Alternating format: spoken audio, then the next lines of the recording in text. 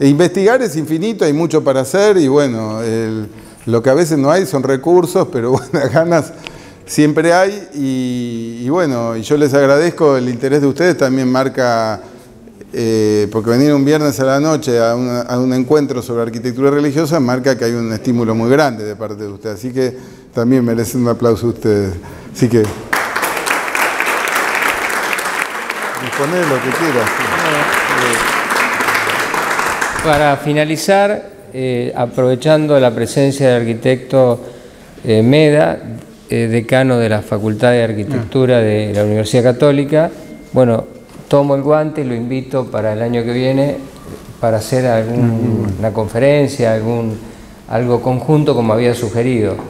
Este, podemos hacerlo con la universidad. Y lo mismo al ingeniero Fares, este, tratar de proyectar, él es profesor titular en la Universidad Nacional de La Plata, en la Facultad de Arquitectura, así que también podríamos armar algún alguna conferencia.